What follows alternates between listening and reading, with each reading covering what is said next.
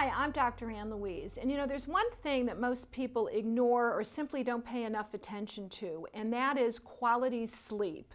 I know how important sleep is in terms of weight loss and weight control because if you don't get full sleep, a full night's sleep, then your body is not making growth hormone, which is exceedingly important in stimulating lean muscle mass. And without lean muscle mass, you're not burning as many calories because muscle burns so many more calories than fat. It is your basic innate calorie burner.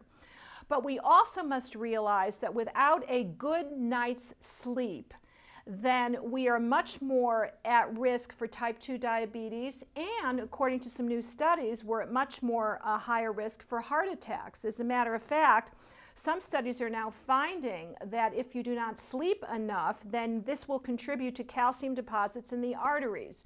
So there definitely is a sleep connection to just about every area of your life. There's a sleep connection connected to your diabetes, to your weight control, as well as your heart.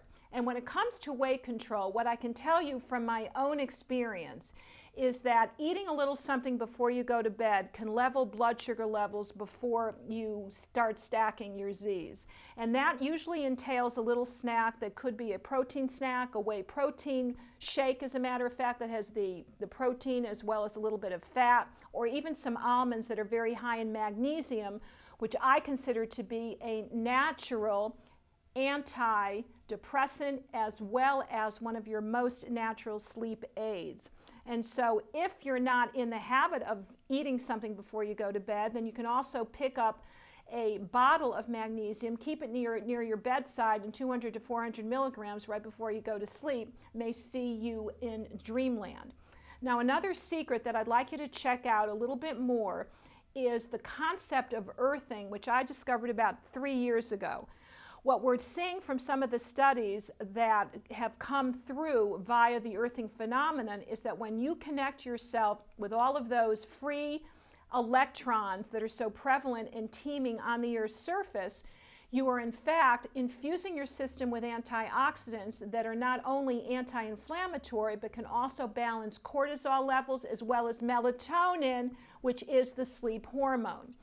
So, eating a little something before you go to bed, taking some magnesium, and checking out earthing are going to be three tips that will get you sleeping in no time. And then not only will you be losing weight successfully, but you're going to be helping your heart. You'll be saying goodbye to diabetes, and you'll be a nicer and kinder and more loving person because you won't be grumpy due to a lack of healing and rejuvenating sleep. So this is Dr. Ann Louise saying sweet dreams, and I hope to see you in dreamland.